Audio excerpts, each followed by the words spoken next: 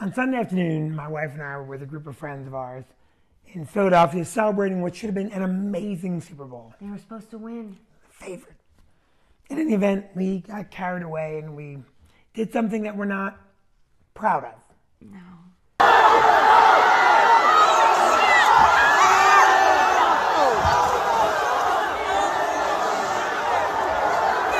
Oh my god! That game, Mahomes was unstoppable. unbeatable.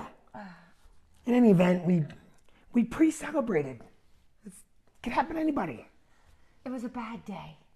It should have turned out differently. If, if they had won, it would have all made sense. And well, we just want to say we're we're sorry. We're really sorry. We're sorry.